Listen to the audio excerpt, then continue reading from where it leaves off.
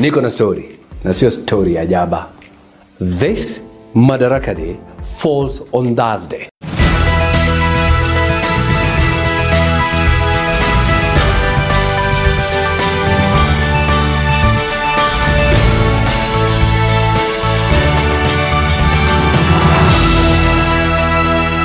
Niko na story na sio story ya jaba.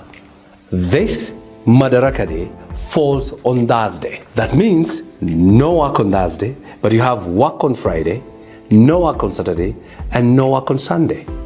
What if we were to propose this friday? We were to tell the government make it a holiday so that we can have four days straight. What if? Somebody would say why didn't you say this earlier? I have a better idea. This is December. Jamhuri Day falls on a Tuesday. So assuming again you are in Kisumu, and I'm just using Kisumu as an example, nothing fishy. Okay? On Saturday you're in Kisumu with your family and beloved ones. Sunday you're in Kisumu, but you have to come to work on Monday. Then go back on Tuesday. I mean again, it's not viable. So what if we tell the government to make also Monday a public holiday? A public holiday. Ladies and gentlemen, I just introduced to you my amendment bill, Public Holidays Amendment Bill, that says where a public holiday falls on a Tuesday, the preceding day, which is always a Monday, also becomes a public holiday. And two, when a public holiday falls on a Thursday, the succeeding day, which is a Friday, also becomes a public holiday. Ladies and gentlemen, that is holiday economics. And if this law was effective from January 2023, this year alone could have only affected three days. You could have only gotten a day extra of Madaraka Day because it happens on Thursday, so you get a Friday, just one. And also the Huduma Day, which is 10th of October.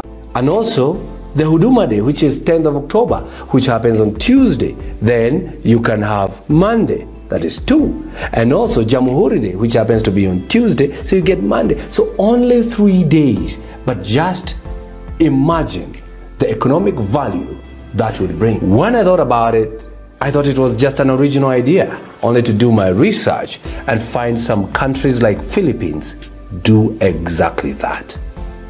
What is the reasoning behind holiday economics?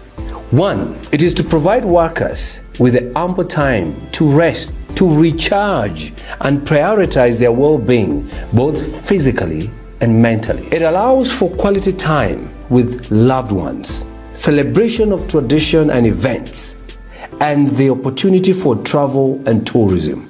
So, extending public holidays support economic growth, support economic growth and promotes domestic tourism by encouraging longer trips and visits to new destinations, benefiting the hospitality and tourism industries.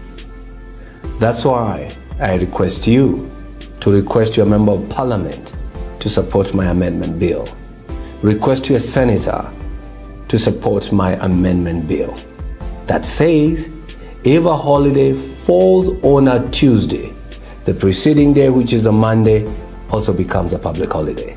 If a holiday falls on a Thursday, the succeeding day, which is a Friday, becomes a public holiday. That is holiday economics. My name is Karungo Wathangwa, the Miracle Senator for Kiambu County, and I do support this amendment bill.